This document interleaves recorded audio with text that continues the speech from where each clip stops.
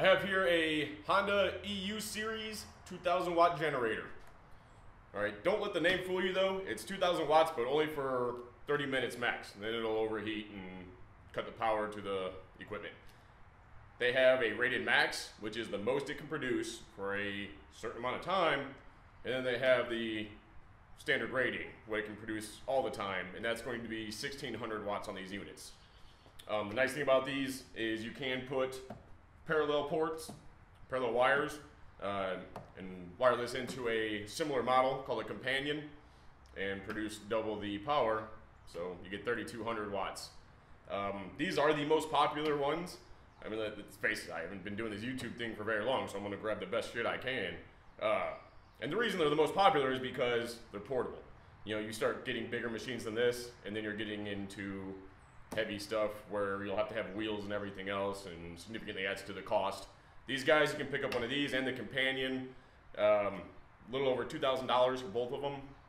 I think this guy's right; it's nine ninety nine. The other one's eleven hundred. Uh, but especially for RVers, campers, they love them uh, because you pick it up and carry it around. It's not too bad. Uh, you know, if you do that kind of stuff, definitely lock these up. I mean, people are fucking ignorant, just assholes. Uh, you know, they'll steal these things so goddamn fast. These and steel. Uh, you know, lock that. Don't leave it unattended because it'll walk off, guaranteed, every fucking time. Anyway, so what we have here. Front cover, we've got the Eco Throttle on off. Eco Throttle, um, these are inverter generators. Uh, being an inverter, you're getting pretty much the cleanest power possible. You got to run sensitive equipment, electronics. You definitely don't want to run that stuff off of a standard generator. But standard generators need to run at full RPM to produce 120 volts. Your inverters do not. Uh, they can produce 120 volts even at idle. So what the Eco Throttle does is that's just going to ramp up your throttle depending on what the load is on the machine so it'll just idle, and then as a current gets or a load gets put on it, it'll just start ramping up to meet the needs of the load. You can turn it off. I generally have it off when you're starting it, so it'll be full throttle. Turn it on, and it'll drop down to idle. As you put loads on it, it'll start uh, ramping up. And I've got some loads, so I'll show that here in a minute. Oil alert. Low oil, the machine will shut down. It won't run. Add some fucking oil. Take care of your equipment. It's an expensive piece of equipment. You should be maintaining it. Overload alarm. If you get a short circuit or overload, this will come on for about four seconds and then it'll cut the source. So the engine will still run, but you won't get any power going out because it's just grounded out. Protect itself. All right, output indicator, green light will be on when you're uh, running the machine. And of course, you know, catching up on the manual while reading this, when you start it, if it doesn't blink, zero to 100 hours. Blinks once, 100 to 200 hours on the machine. Twice, up. So Nice little handy tip. RTFM. All right, so we've got a ground here for this. This is a 12 volt direct current. You can charge batteries with this guy, but it doesn't have a limiter, so stay on top of it. Don't just leave it unattended. Check your battery. And 13.3 amps, uh, 16.7 I think for 30 minutes at the 2000 watts, uh, 13.3 RMS. Here, you've got your on-off switch, recoil, you got your choke for cold starts, uh, maintenance access here. Over on the side, you have another maintenance access, uh, spark plug under there, and of course I had to cover our company sticker because I don't think anybody really likes my fucking videos. Or at least they don't want to be associated with them, and that's fine. I'm, I'm kind of a prick, but you guys are humans, you're pricks too. I want to point out the top of the gas cap has a nice little vent up here. When the machine's off, you turn it to off. When the machine's on, you turn it to on. That'll vent it so as the volume drains in the fuel, it'll actually pull in air.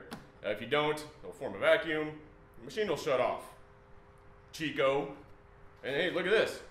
Very first thing in the taking care of unexpected problems, Chico Fuel filler cap vent lever is in the off position. Chico. So make sure that's an on when you actually want to run the machine. Now let's go ahead and start it. You can throttle off, switch on. And yeah, it's it's quiet. That's as loud as it gets. That's another reason people really love these machines. They're really quiet. You know, I have, uh, or my, my father has rather, and shit, I think it's things from like the 1940s, a uh, Kohler Welderator. I think it's just obnoxious. Anyway, but uh, at a quarter load, these things will go four hours on one tank of gas, uh, one gallon tank on this. Or I'm sorry, at full load they'll go four uh, four hours. At a quarter load it'll go, I think it's like nine. So you get quite a bit of runtime out of this. We got some loads here. Got a fan and a vacuum. So let's go with the fan. Oh, where am I? All right, so normally on a standard generator, non-inverter, anytime you add a load, you're going to have to run full power. So turn the fan on, and it's still pretty much just idling. We'll turn the vacuum on, which is significantly louder than the generator.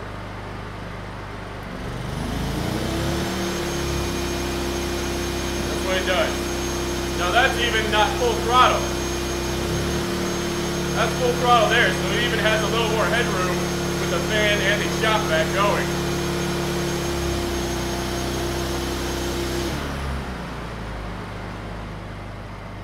So it adjusts itself. And that's really going to help with your fuel consumption because you're not going to be wasting unnecessary gas running at 4 RPM if you're not pulling a full load.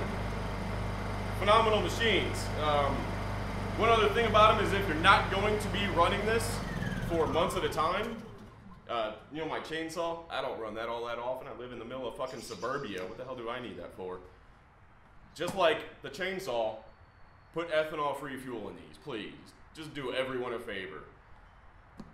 The ethanol gas goes bad after about three months, and then it gums up carburetors and everything else, and it'll do the same to this. So if you're not going to be running this fairly often, use ethanol-free fuel. Even though it's a bit more expensive, it's a lot fucking cheaper than a carburetor repair. But that's about it. Have a good one, humans.